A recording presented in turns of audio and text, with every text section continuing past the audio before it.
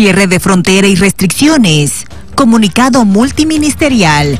Cierre de fronteras con Brasil hasta las 0 horas del viernes 16 de abril. Durante este tiempo, se dispondrá el tránsito fronterizo por el lapso de cuatro horas. En el resto de los puntos fronterizos con los demás países vecinos, se establece un máximo de ocho horas diarias de funcionamiento de lunes a domingo. Requisitos.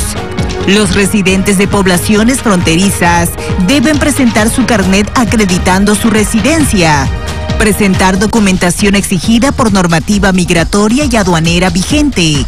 Las personas deberán pasar un control médico para verificar y registrar su temperatura corporal.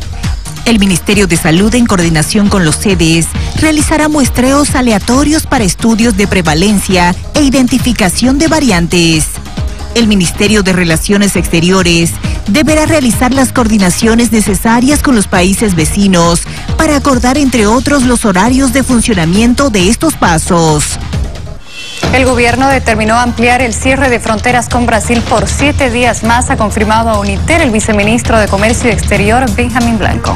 Eh, por siete días más se posterga la, la apertura, digo, el cierre del, del paso por resolución multiministerial. Eh, solamente que se ponen algunas, algunas nuevas excepciones, se reglamenta un poco el, el decreto, ¿no? Pero en vez de tres horas se va a ser cuatro, el tema de, de controles médicos que se deben realizar de manera obligatoria, eh, etcétera. Pero bueno, eso se puede explicar en una, en una hora más por lo menos porque estoy en una reunión.